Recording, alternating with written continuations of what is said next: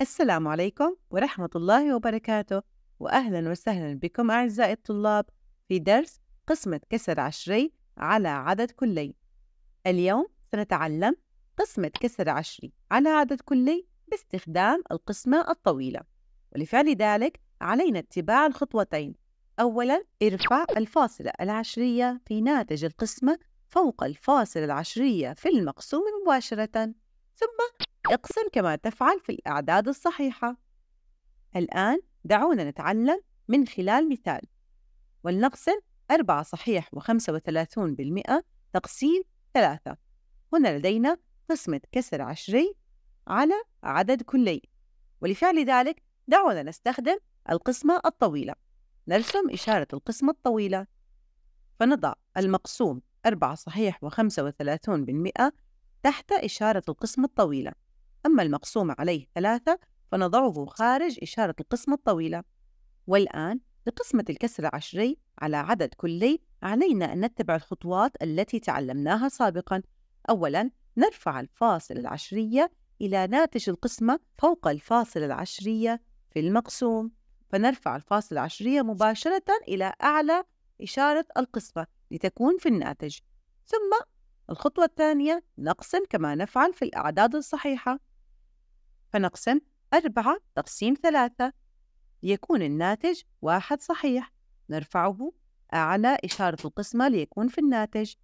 الآن نضرب واحد ضرب ثلاثة فيعطي ثلاثة. نضعها أسفل الأربعة مباشرة.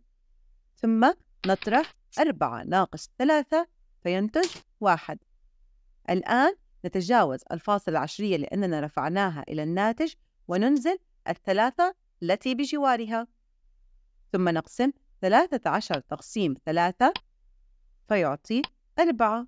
الآن نضرب أربعة ضرب ثلاثة ليكون الناتج اثنا عشر.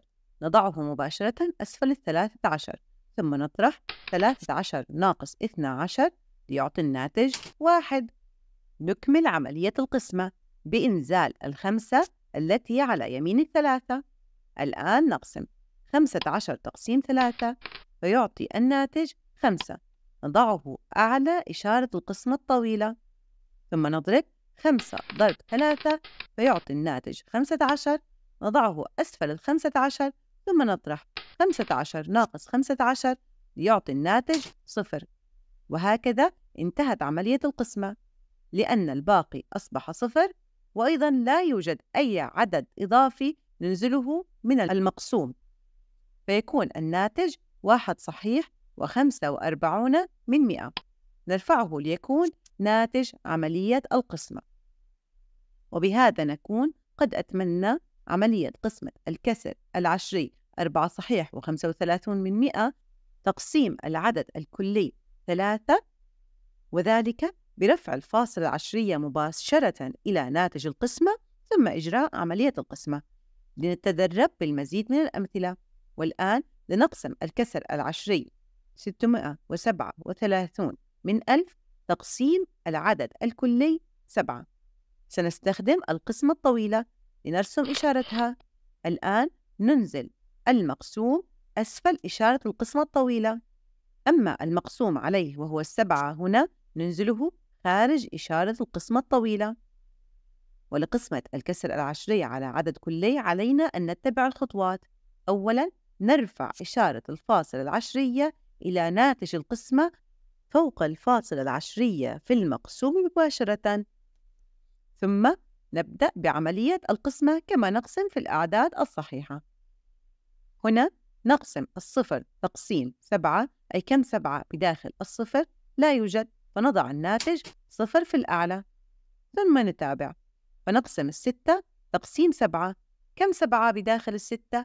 أيضا لا يوجد فنرفع صفر آخر أعلى الستة مباشرة. ثم نقسم الثلاثة وستون الآن تقسيم سبعة فيعطي الناتج تسعة. الآن تسعة ضرب سبعة يساوي ثلاثة وستون. نضعها أسفل العدد الذي قسمناه وهو الثلاثة وستون ثم نطرح. ثلاثة وستون ناقص ثلاثة وستون ويعطي الناتج صفر. الآن ننزل العدد المتبقي في المقسوم وهو السبعة ونقسم سبعة تقسيم سبعة فيعطي الناتج واحد. نرفعه أعلى إشارة القسمة.